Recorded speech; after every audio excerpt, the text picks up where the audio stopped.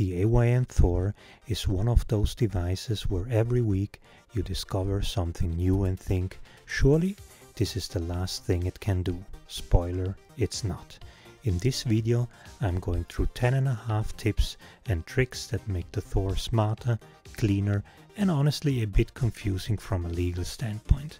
We are talking hidden Android tweaks, dual screen wizardry, Steam games and somehow the Netflix version of Red Dead Redemption running on this thing.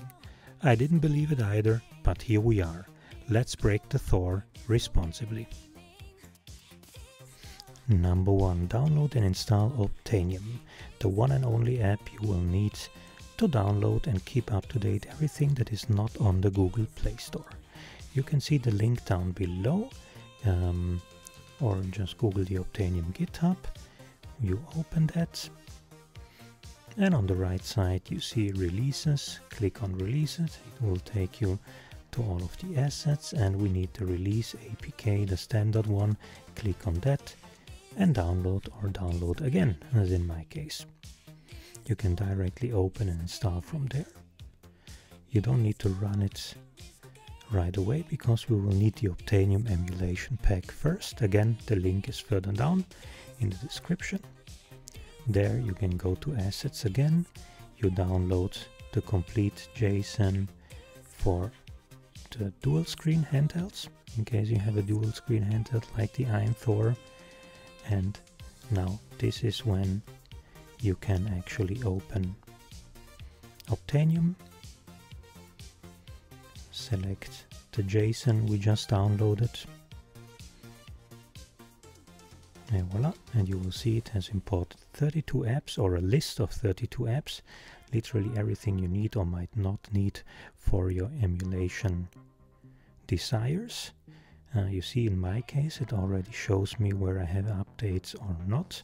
So this is one very very handy feature. And if you click on the install icon there you see there is an update for seven apps. I will briefly show you how that works.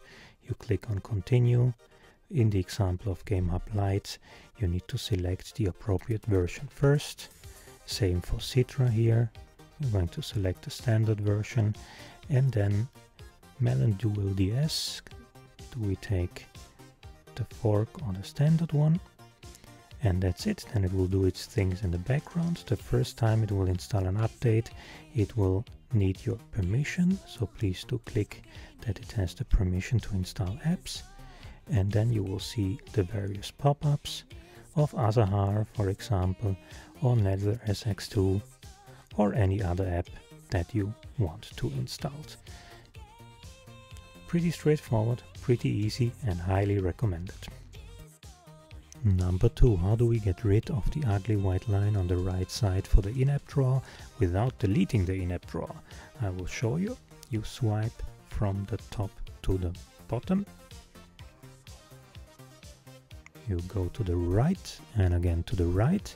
Here if you press on it you can deactivate it but if you click exactly on the arrow it will bring up the floating icon transparency. You go to zero and voila the in-app drawer is still there but you got rid of the white line. Congratulations number three the in-app settings sometimes a highly forgotten setting. I have to admit it took me a while, also in my case, to use it. As I've shown you earlier, you need to swipe from right to left to open the menu. You will see gamepad option for the specific game or app. You can choose the handle style, the L2 R2 mode, for example. You can also customize your performance. For example, there will be some apps like, like GameHub where you want to have the performance mode active, whereas in other apps you use the normal mode. Um, the same is valid for your fan modes. Sometimes you want a quiet of profile for something that is not running as widely as other apps. So I will show you what happens now actually if we exit this app where we configured something.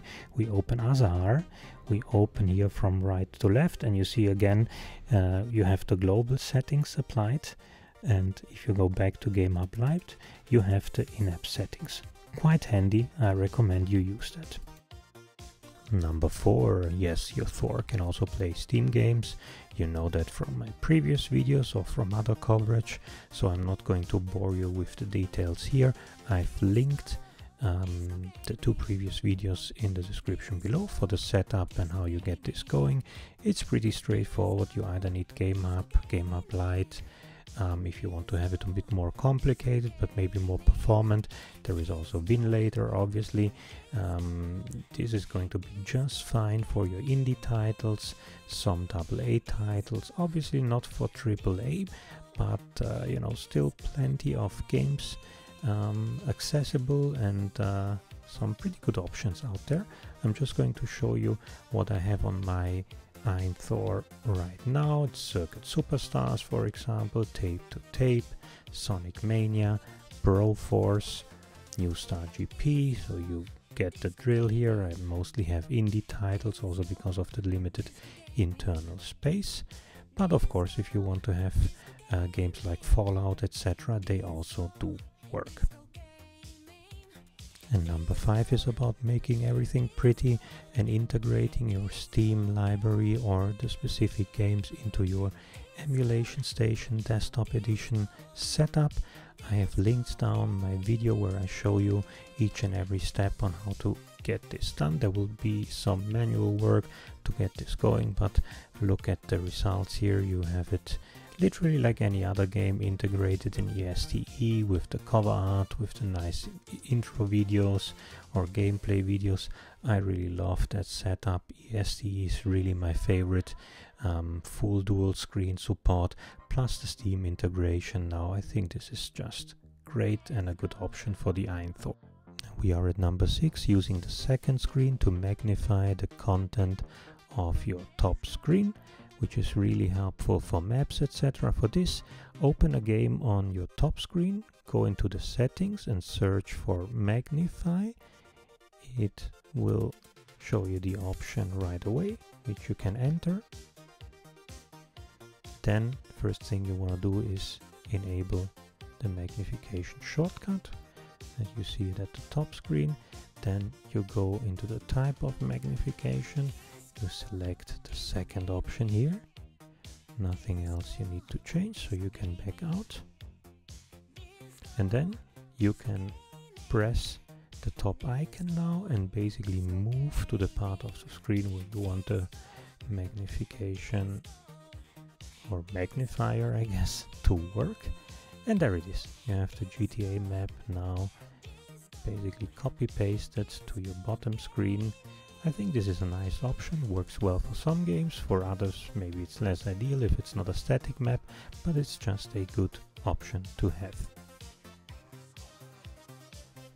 Number 7. Using the focus mode, meaning making sure that you can use both screens, but the control, the physical controls are assigned to the top screen.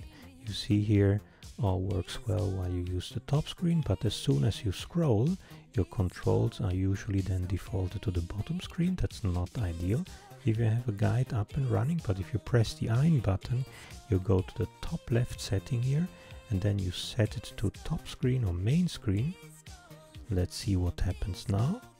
You can control your character on the top screen, control the bottom screen with your gestures, and your controls are still assigned to the top screen. I think this is a nice option uh, and approach in case you want to have your guide um, on the bottom screen or anything else. It will always default the physical controls to the top screen. So this is a rather important one for me. Uh, I really struggled at the beginning and number 8 let's pin the keyboard to the bottom screen if you like that for me this is a really handy feature um, when the keyboard is open top right is the pin icon.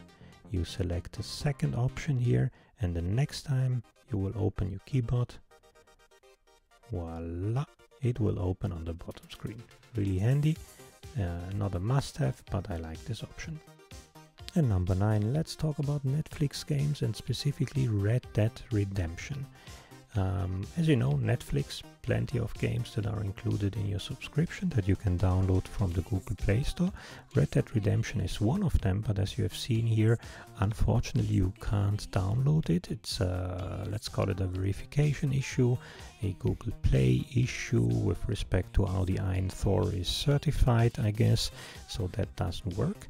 Um, in contrast, plenty of other titles like Street Fighter, uh, Football Manager, Sonic Mania, etc. do work. Um, your mileage may vary in terms of whether you like these games or not. Uh, but I think it's good to have it as an option and since you're anyhow paying for it because you are a Netflix subscriber it really makes sense to go into the Play Store you search for the Netflix as a developer and there you have this long list where you can scroll through and most of them do actually work. As I said TMNT Shredder's Revenge is a very nice title. I really enjoyed playing for example on the Switch so please take your time go through that. I think there are some some nice free to play options here directly offered by Netflix. But with respect to Red Dead Redemption, there is a way to deal with that. You can go to a website called APK and download one of the files I'm showing you here. There is the standard version, there is a unlocked version where you can change the graphical settings. Um, it's pretty straightforward in terms of approach. You see here in the display settings you can even select the 60 FPS mode and it runs just great with that. Um, literally only two steps website apks vision. Then you open the file with uh, I recommend Z archiver which can directly sort of extract it and install it for you. Really really easy to handle that. And we are at number 10 getting rid of the bottom gesture line if that is something that bothers you you can do that directly in the Android settings it's uh, actually a standard Android thing not really Thor specific so you go into settings from there to the system you click on gestures first option here is the navigation, gesture navigation. You click on the icon on the right here. And this is where you can just deselect the home bar. It will still keep the functionality, but you get rid of that white line. Okay, 10 and a half. What to do about the shitty, almost shitty sound quality of the AYN Thor? Joey from Joey's Retro Handhelds did a great video on this. That's why it's only half a tip because I linking to his video. He did a great work on describing the steps and how to change the profiles, etc. So please do follow that, and I think it's really worth it. Uh, and obviously also like his video and subscribe. Now we come to an end uh, in terms of my tips and tricks here. If you like my video, would be grateful if you if you like and subscribe my channel. See you the next time. Bye bye from Disco Disco Gaming.